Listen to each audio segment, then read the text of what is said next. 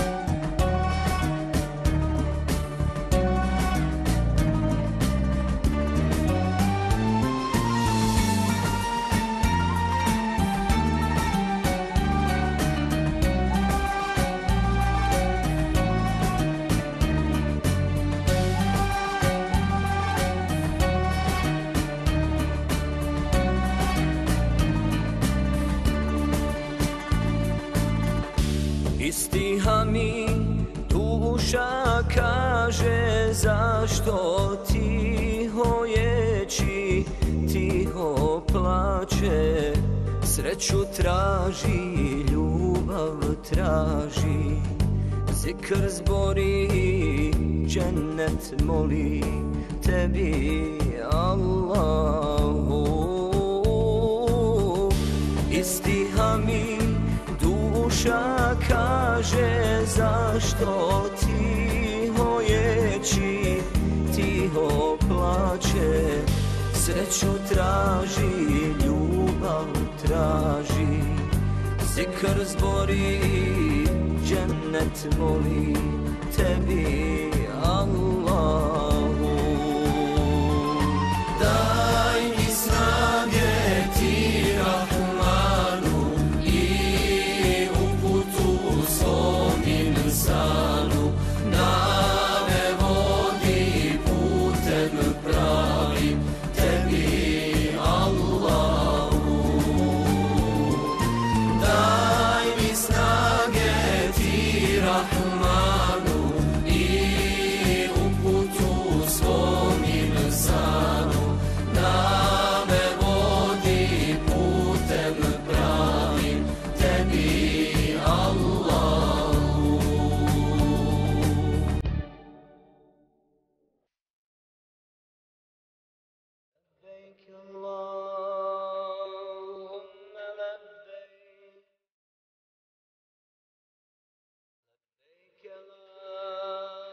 شريك لك.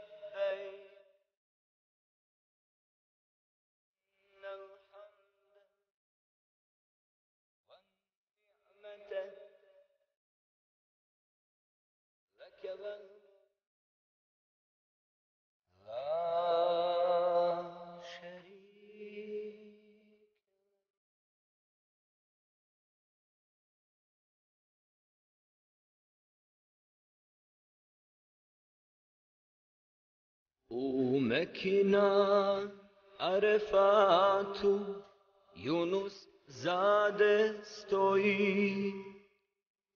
Duša mu je u zanosu, sav u ašku gori.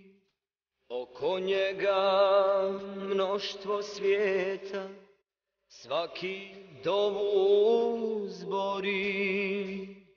La ilahe dolinom se hori.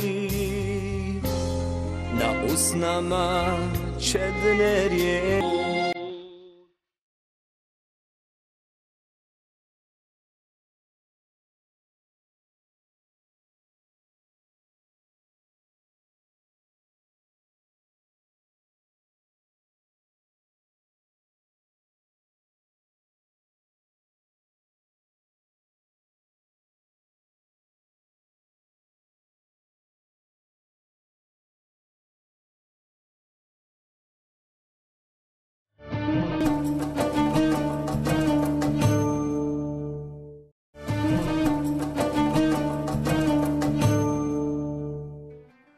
Dragi gledalci, evo nas ponovo, nakon finog i lijepog ugodnog iftara. Tu smo u našem studiju i čekamo naše goste. Da, večera sa nama profesor dr. E, Šefik Kurdić. Profesore, dobro nam došli. Dobrodošli sa po ko zna koji put, stalni gost, redovni gost televizije. Bolje ti uvijek je zadovoljstvo. Salam alaikum. Alaikum salam. Alaikum Dobro, salam, profesore. Dobro nam došli. Ja ne znam kako je s vama, ali obično ovih prvi dana posle iftara malo... I pred iftara i posle iftara čovjek se malo uspava. Pa jes Dok malo, se ne dok- navikne dok i se ne organizam. navikne, sigurno. Jel da? Jeste, jeste. To je sasvim prirodno stanje, to je svake godine tako. Naravno, naravno. Ali stvar nije tako imamo u sebe. To su ona pitanja koja ljudi često postavljaju. Pa kažu u ovom ljetnom periodu kako ispostite sunce, visoke temperature, dug je dan, dugo se posti, ali je samo stvar volje i želje. Je li tako? To je sigurno, bez toga nema... nema Oni koji ne poste neće znati dok ne zaposte. Naravno. Jeste. Eto, sugestija nek probaju Neka svi zaposliti, probaju, tako je. Pa će vidjeti kako to izgleda. Mi smo i ove godine odlučili da od ovog našeg studija napravimo jedan mali dom uh, gdje ćemo Zaid i ja biti domaćini sa brojnom ekipom koja je s nama svaku noć od snimatelja, režije, higijeničarke, Da. scenografije i tako dalje. Brojen tim je ljudi koji radi na realizaciji višesatnih ramazanskih sadržaja koje Haj te- televizija plasira našim gledateljima. I onda smo dolask, pozivanjem gostiju odlučili malo i prošetati Bosnom i Hercegovinom jer svako nosi neku svoju posebnu priču. Profesore, i ta naša lijepa Zenica, čini mi se da iz mjeseca u mjesec sve ljepša i ljepša. Nosi također lijepe ramazanske priče. Mogu li ja nešto samo kratko prije nego profesor kaže? Toliko ste gostiju iz Zenice došli, mora da ima tamo mnogo dobro. Ili je to Ima, do ima. naše dalile, ali mnogo gostiju je ove godine planirano iz Zenice. Pa dobro, ima i iz Hercegovine. Ima. Dobro, ja ne znam naravno. kako se ti orijentiraš. Hercegovina Hercegov- ili ono i? Ja sam Hercegovac. Aha, dobro. Pusti sad malo Zenice da progovorim. Naravno, hajde. Pa to je logično, jer Zenica je zjenica Bosne i realno da treba da bude odatle podobar broj. Jel tako gostio? Šalim se. Svi su naši, onaj, jel tako, ljudi vrijedni odakle god dolaze. Ali eto, sticajem okolnosti, mi smo trenutno u Zenici, iako sam ja tešnjak porijeklom, ali već je od dugo godina, hvala Bogu, živim i radim u Zenici i Zenica mi je postala onako dobro prisutna u mom srcu, pa evo, drago mi je da mogu doći iz tog grada. Mi smo večeras odlučili da govorimo o religiji i suživotu. Nešto što apsolutno nema vremenskih odrednica. S tim živimo i u Ramazanu i mimo Ramazana. Je li to jednostavno? Pa ono bi trebalo da bude jednostavno, ali je problem ovakav kakav mi danas živimo i u vremenu u kome živimo da se puno tih stvari iskompliciralo, nažalost, upravo zbog toga što ljudi neće da, da shvate šta je e, religija, šta je društvo, gdje je mjesto kome na ovome svijetu i kad se u toj piramidi sve poreda kako treba, onda sve dolazi na svoje mjesto. Ovdje su brojne stvari poremećene. Univerzalne vrednote su krhane ili stavljene na neki tamo drugi dio. Mnoge stvari koje nisu univerzalnog karaktera koje nisu vrijedne, one su isplivale na površinu. I onda, nažalost, ono što nekad je pametan govorio, danas onaj koji nije pametan govori, a često danas pametni šute.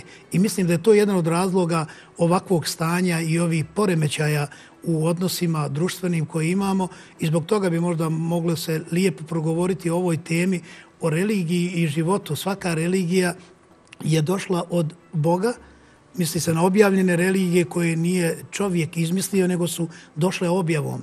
I one sve nose jednu tu univerzalnu poruku koja je jednostavno e, nenamirljiva od strane bilo koga na ovome svijetu.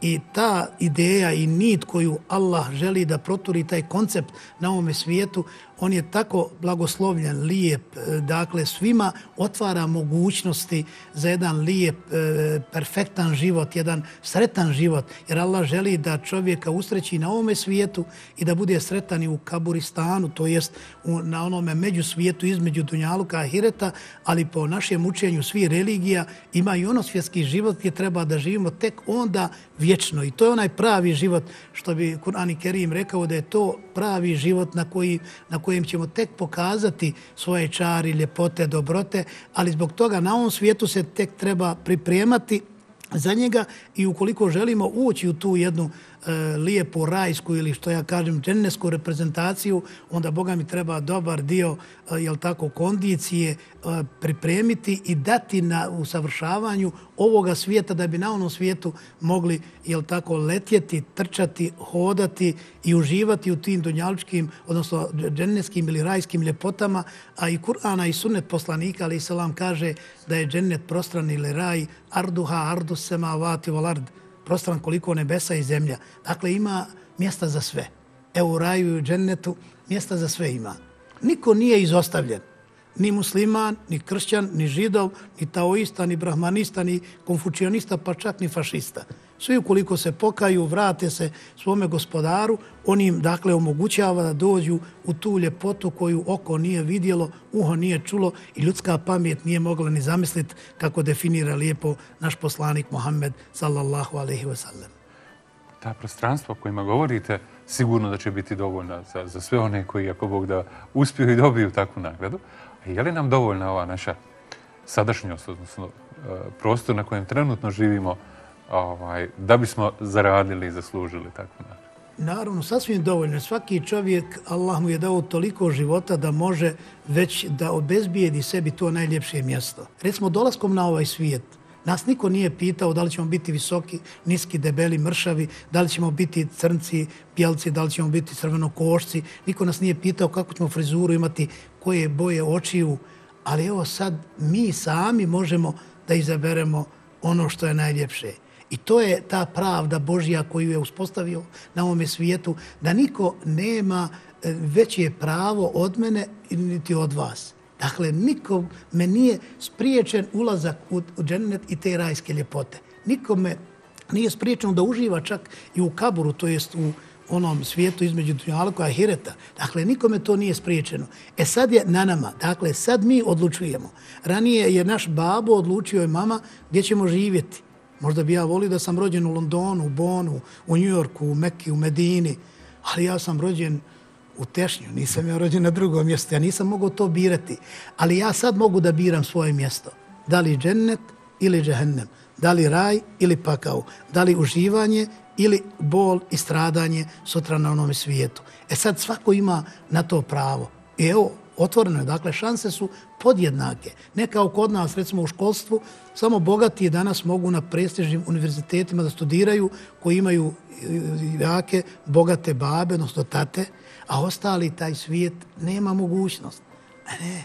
Kod Allaha je drugačije. Kod njega svi imamo iste mogućnosti. Kod nas i u islamu, a također i kod kršćana i židova i kod ovih, dakle, objavljeni religija, isti je otprilike svjetonazor nas je Bog poslao da upoznamo svijet, da njemu zahvalimo, i to je čitava filozofija učenja religijskog, dakle da Boga spoznamo i da druge u Bogu upoznamo. Jer upoznavajući i spoznavajući gospodara, mi u stvari drugima pružamo ono što mi sta, sami nismo u stanju dokučiti, niti možemo svojim intelektualnim snagama doći do da, da, da, tako nečega. E zbog toga je na nama zadatak da, da upoznajemo međusobno naše religije da bismo bili bliži jedni drugima. I vjerujte samo da mi upoznamo svi od nas koji živimo na ovim prostorima, na prostorima čitave planete, da upoznajemo malo bolje naše religije izvorne, originalne, kakve jesu, kakve su nastale. Neke su vremenom promijenile svoj tok zbog određeni okolnosti, istorijski ili neki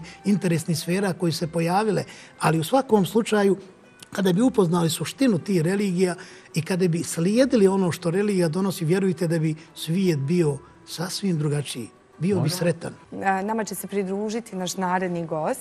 On je neko ko se bavi pravom, neko ko je u praksi već više od 40 godina, ko nam može govoriti o tom društvu zasnovanom na pravdi iz prakse kakvu on nosi već 40 Pa godina. ja vjerujem čak i njegovo ime i prezime da to si Taj dio ću sugerira. prepustiti tebi, molim te, izgovori. Dakle, Mehmet Spaho. Znakovito ime sa mnogo značenja nama bošnjacima i prostorima na kojima mi ovdje živimo. Pozvat ćemo gospodina Mehmeda Spahu. Dobro nam došli. I mi vas bolje našli, vidim u dobrom raspoloženju. Poštovani, kako ste? Dobro nam došli. Izvolite. Samo. Dobro, kako ste? Slušao sam ovaj dio, fino je bilo. Izvolite. Slušali ste? Jesam, Da. ovaj zadnji dio. Imali smo šta i da čujemo, Yes. A jel? možemo li prije, prije nego pređemo na temu, možda samo meni je zanimljivo, ja to, ovaj, je li vaš ured u ulici koja nosi ime po, je li tako rekao Jest. Znači, vaš je ured u ulici E, Po, Mehmeda, po, ali po dedi, ulica se zove po dedi. Mehmeda Spah, a vi ste ja, a, a ja sam kao prvi muški unuk po nanoj želji, želji dobio to ime. Baš je. lijepo. Nana vam je- izrazila želju, tada dedo ipak e, prilično mlad umro. Njemu je bilo svega 56 godina.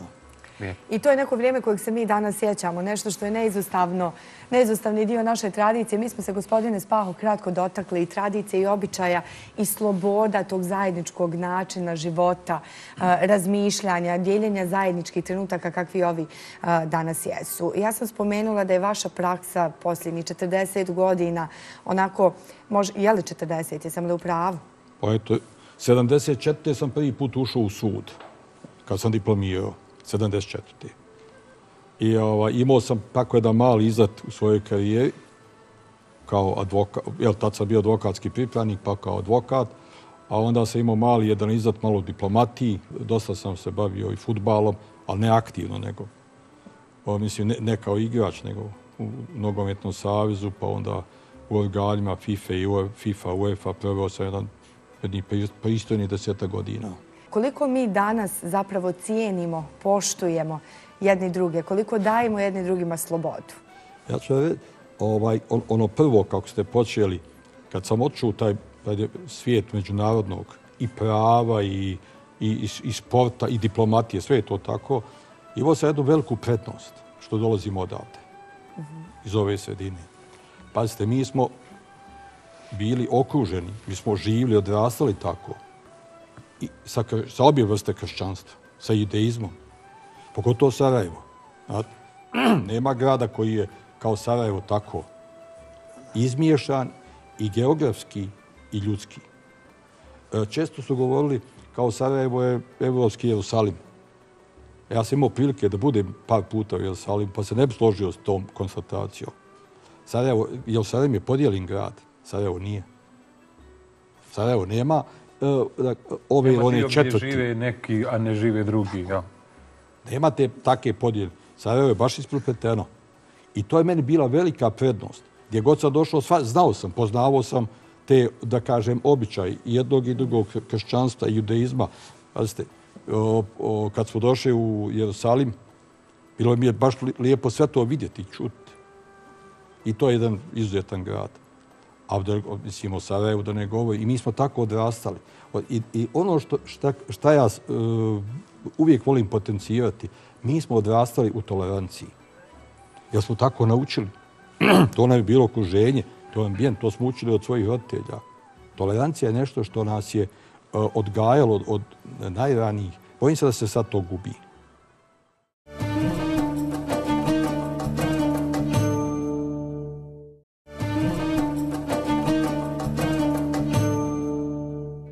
Pričali smo, ne može znati uh, ovaj, kako je postaču onaj ko možda ne proba da posti. Ja Da. znam primjere, recimo, iz našeg tog pravog ovaj, značenja riječi suživotu, da su pripadnici drugih religija znali s muslimanima da postaju dane, da bi znali kako to, kako to u životu muslimana izgleda Ramazan. Ne znam da li ste se vi sretali sa takvim primjerima. Pa pazite, jedni i drugi. E to je ono što smo pričali, što smo odrastali sa tolerancijom. Još jedna stvar koju bi volio, ja sam to za, z, negdje sam ovako upratio, to je profesor Topić negdje ovaj, poveo priču o životu, govoreći više o životu katolika. Pa kaže, znate, kaže, otišao sam u Njemačku, pa sam obišao, pa u Austriju, pa ovo, ono, i vidio sam kako žive. Ali vjerujte, onaj, oni niko od njih tamo ne priča o politici. A mi ovde, pa gdje god jedemo pričamo o politici. Ajmo pričati o projektima, o, o pozitivnim temama, o razgovorima, kako da naprijedimo ambijent. Mi sami jako puno možemo učiniti. Mislim, mi, građani, govorimo o građanima sada. Kad ste pomenuli malo pre, opet dotaknem riječ građani. Ovdje građani malo po strani. A e, e, ako pričamo o pravu, sve konvencije koje međuna, e, u svijetu su usvojene, govore o pravu građanina, o pravu čovjeka. Pazite, nema kolektivnog prava. Znate, mi se, mnogi se kriju iza toga. Ovdje se govori o pravu, ali obavezi. Uvijek nemojte nikad zaboraviti, pravo je postavljeno tako da je u istom, morate, ako imate neka svoja prava, morate imati obavezu. Ovi naši ramazanski programi imaju i tu kulturnu dimenziju, a i Ramazani generalno, profesore, u Bosni i Hercegovini su od uvijek imali kulturnu dimenziju, kako je to Zaid spomenuo. Vaša praksa, rad sa studentima, to su upravo te generacije i naraštaje na kojima trebamo raditi, jer jedni sa drugima živimo. Naravno.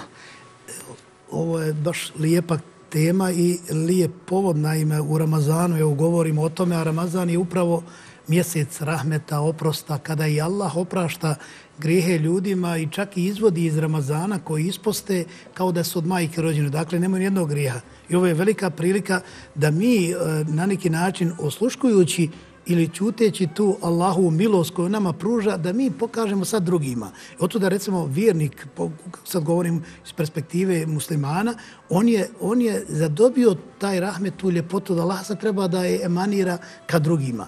I ono što smo malo prije započeli govoriti, lijepo je naš onaj gospodin Spaho spomenuo, vezano za toleranciju. Jer niko ne može biti tolerantan kao vjernik, svejedno koju religiji pripadao.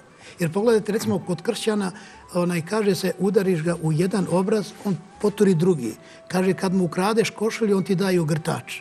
Pazite, do, dotle ide. Dakle, nešto što, što se već eh, na neki način eh, do, do granice nevjerovatnog dovodi. Kod nas u islamu, recimo, ako neko udari čovjeka, imaš mu pravo na isti način vratiti, ne više od toga, a ako oprostiš, to je još bolje. Evo pogledajte. I jedni i drugi su na istom fonu otprilike.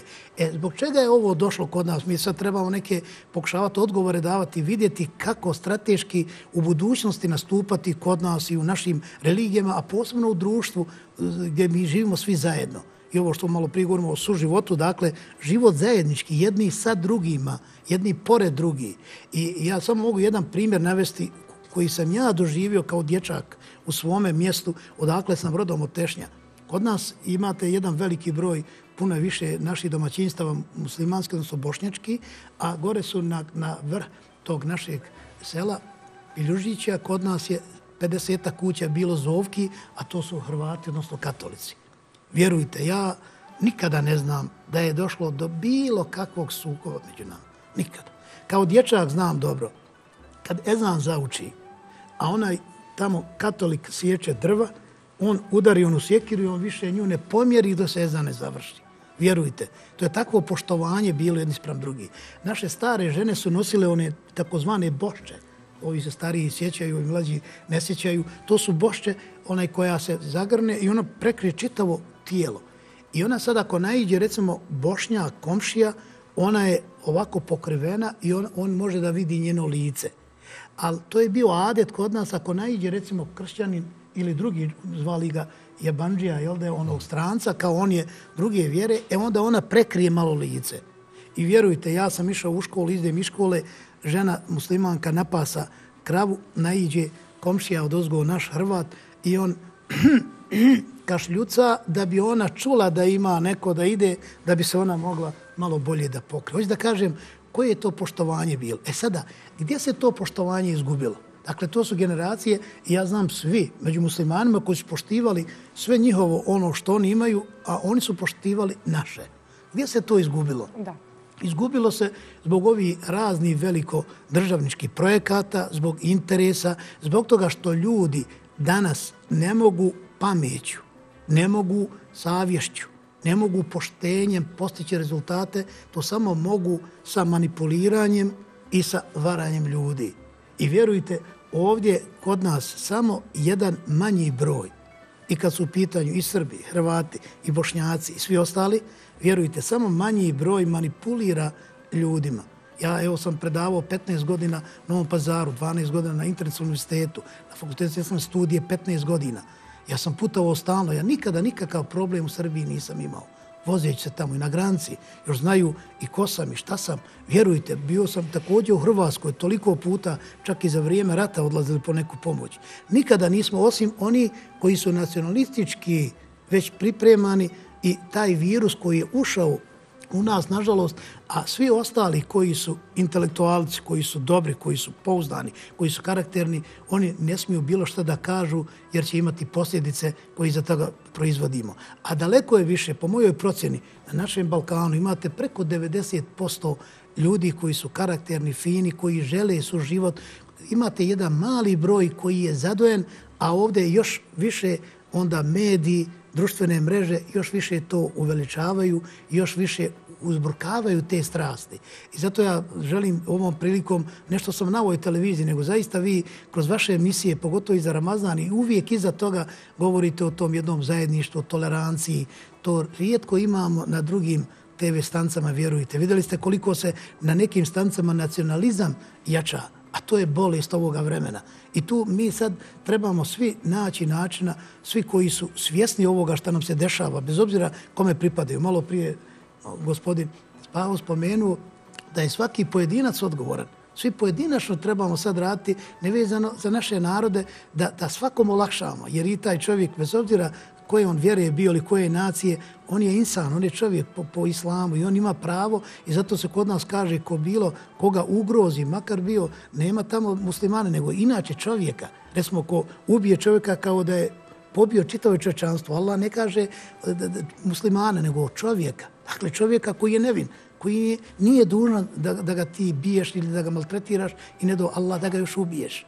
E to nama fali danas da, da, da, da se napravi. Ono imaju određeni ekumenski razgovori među religijski, to je dobro, hvala Bogu. Samo to treba jačati i treba to širiti među nama, da, da mi ne gledamo čovjeka zato što je druge vjere ili nacije, čovjeka kao čovjeka. Jer je poslanik, ali salam, kad su nosili onaj čovjek koji nije musliman, nose ga ka kaburistanu da ga kopaju, on je ustao. Pa su mu rekli, Allahov poslaniče, pa ovo je židov, ovo uopšte nije musliman, a, a ti si ustao pred njim. Kaže, on je čovjek. Ja sam ustao prema čovjeku. Dakle, prema, prema tom Allahovom stvorenju koga je Allah dao i on ima istu vrijednost kao i svako drugi. A mi smo Allahu bliži po bogobojaznosti, kao što se kaže, vidjeli ste u Kur'anu, o ljudi, ja sam stvorio, stvorili smo vas od jednog čovjeka i jedne žene i podijelili, razdijelili u plemena, narode i nacije, lite arefu, da se međusobno upoznajete. Dakle, naša sudbina je međusobno upoznavanje i to treba da bude naša prednost jer, jer ćemo naići na, na, na neke različitosti koje će da nas ono fasciniraju. Jer zamislite sada baštu samo sa jednim cvijetom i da je on čitav posijan, samo sa jednom voćkom. Ali imate bašte sa raznim voćkama i onda vi uživate, neka vam dosadi jesti jabuku, vi ćete uzeti krušku, nekada ćete uzeti šljivu. I to je daleko ljepše i bolje i zato nam Allah to pruža kao tu jednu cvijetnu, lijepu baštu, a da bi mogli dobiti onu džennetsku baštu, ne možemo dok ne prođemo ovu našu dunjalučku baštu. A ova dunjalučka bašta ima više mivki, što mi rekli, više voćki, više cvjetova, ali ima i ljudi koji su različiti cvjetovi. I ne moraju sve da im misle isto kao mi. Zato mi, e, recimo, u, u vjeri ne bojimo se utjecaja drugi, zato što znamo i ko smo i šta smo. Prema tome, i mi samo iznosimo ono što je, što je dobro, što je hajr. Mi sada odgajamo, ja već 25 godina predajem na fakultetu i odgajam te studente, šta ćemo dakle dobiti? Jesmo li mi sad svi na tom fonu, jel, jel se odgaja sad čovjek samo da se tovi znanjem ili se on odgaja da bi i odgo, odgojen bio i da on sutra kad završi bilo koji fakultet ili univerzitet da, da bude bolji, a ne samo da bude stručniji. Kod nas čini mi se danas imamo puno stručnijih ljudi, ali nemamo puno humani ljudi. Mali je broj ljudi koji se humaniziraju kroz naše školstvo i zbog toga treba školstvu vratiti ovu glavnu nit, tu Odgojno. glavnu pojentu, a to je odgoj. Možda da, da, da kažemo na to da bude bolji od sebe iz prethodnog a da ne, da se da ne ide da se ne poredi sa onima koji su okolo njega. Te davne 70 neke kad sam počeo raditi, kad kažete ko pripravnik, pa, jel, pa mlad advokat, pa to, pa su mi svi rekli kao onaj, e, jako je bitno da svako nastoji da bude bolji od svog oca. A kaže, ako ti budeš kod tvoj otac, budi prezadovoljan. To je to kao, to je, to je dovoljno ti je to.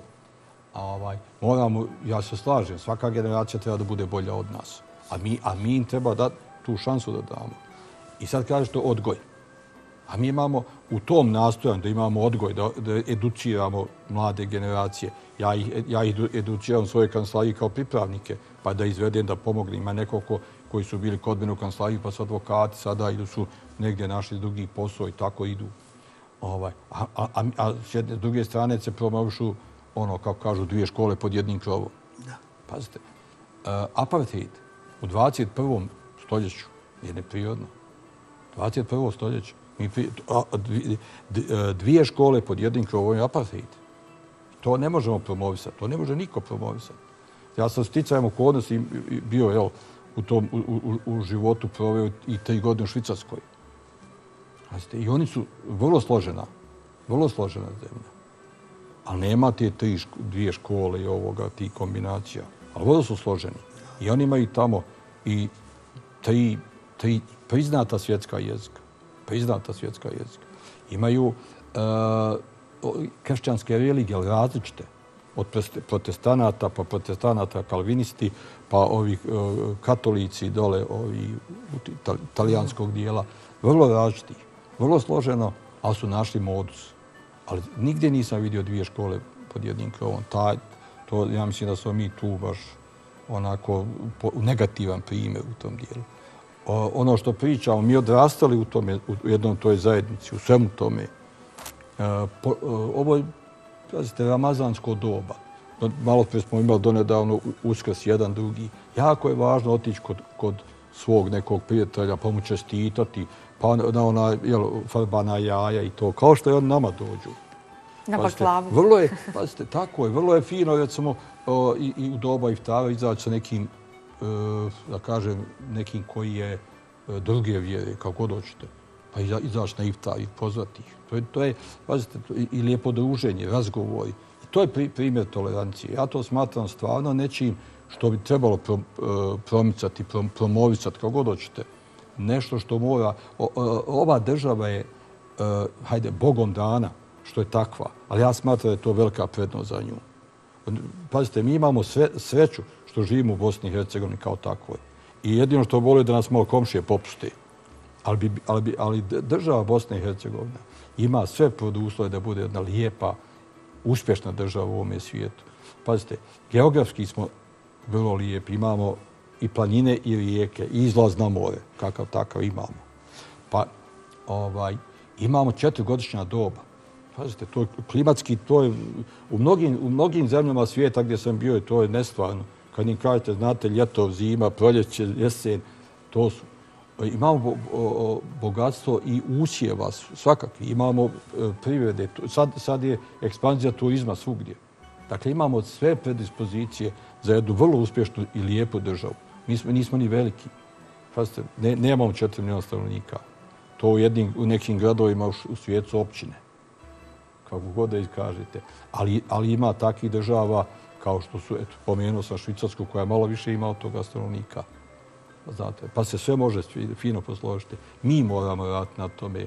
Moramo se više posvetiti, posvetiti radu, e, fokusirati na onaj, ono što mi možemo na svom nivou.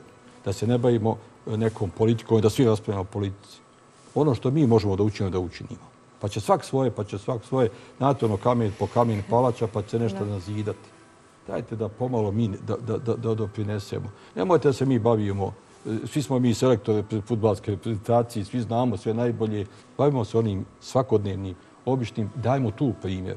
Dajmo primjer kad parkiramo auto, da ga parkiramo na dopušteno mjesto, a ne na trotuar. Jer pomislimo nekada ima, ima i neki pješak koji treba tu da, da, da prođe. A da ne govori neko ko, je, ko, ko ima neke potrebe, pa kolica, pa sve ostalo. Razmislimo o drugome, zašto smo parkirali auto. Samo jedan mali detalj. Kad istrije samo neko, neko smetlje, imamo kontejner gdje ćemo to raditi, a ne da bacamo kako kome stigne.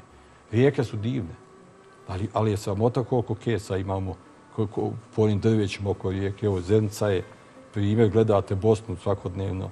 Nema opravdanja za to. A to je do nas. Dakle, nije to stvar ni politike, nije to stvar ni, ni vijeća ministara, ni parlamenta do građana. Je to. Mi moramo ovo poraditi po tome. Ugodno jedno druženje. Ja bih još da mi pričam, ali evo, kažu da vrijeme već... Primit ćemo isti- se kraju naše emisije. Ali lijepa poruka, lijepe su poruke. Nadamo se da ćemo, da ćemo se u stvari svi malo više suštinski vratiti svojim religijama i vjeru u Boga i da ćemo se truditi da ga spoznamo onako kako, kako to zahtjeva se od pravog istinskog vjernika i da ćemo onda biti manje u potrebi za sukobom sa bilo kim. Pa mislim, ovo jeste taj zaključak koji bi mogli možda iznjedriti iz ovog našeg evo ovdje druženja onaj večeras. Upravo to da, da se vratimo tim univerzalnim vrednotama koji nisu nikada istrošene Niti isključuju bilo koga. Naravno, niti isključuju drugoga i zbog toga tu samo treba upoznavati dakle ove e, originalne stvari i pomalo prikučivati i servirati ljudima da to znaju. Te vrijednosti i te prioritete sad treba i preko medija, društvenih mreža i preko nas koji radimo da to iznesemo na, na to svoje pravo mjesto. Meni je ovo posebno drago što sam bio zajedno u društvu sa gospodinom Mehmedom Spahom jer o njegovom dedi smo toga puno slušali To je jedan velikan koji je ostavio traga i zadužio i nas, i našu zajednicu, i naš narod, i sve narode ovdje u Bosni i Hercegovini, pa mi je evo posebna čast što sam mogao u ovom lijepom ramazanskom okruženju malo da se družimo. Također, hvala vam lijepo. Hvala vama. Dalila je tu. Izvolite, gospodine Spaho. Hvala, Delila. Profesore, i za vas za kući ponesete, ali evo kad ste spomenuli, ovaj, eh, ja bi samo za kraj da se dotaknem i te ljepote i te tradicije i to je upravo taj prenos gene- sa generacije na generaciju. A, to je slučaj i kod vas i vi ste vjerovatno tako odgojili svoju djecu da svako od nas kao pojedinac može znatno doprinijeti unapređenju društvene zajednice, da svi zajedno možemo kreirati bolju budućnost. Hvala vam za ovo ugodno i lijepo druženje. Nama je bilo lijepo, vjerujem da je bilo i vama. Kratko, brzo začet prođe. Kad je s- priča, brzo prođe. Da, i kad, kad je čovjek u lijepom A društvu. vi ste limitirani, znamo kako to izgleda. Vrijeme je ograničeno. Hvala vam još jednom od srca. Hvala i vama. Željno iščekujemo novu priliku. Vama, dragi gledalci, hvala što ste bili sa nama. Mi ćemo nastaviti, ako Bog da, i narednih dana ovako u ovom istom maniru da širimo dobro, da se trudimo da dobro bude to što će nas okupljati na svim mjestima ove naše lijepe Bosne i Hercegovine, a nadamo se i diljem svijeta. Hvala vam lijepo. Hvala vam.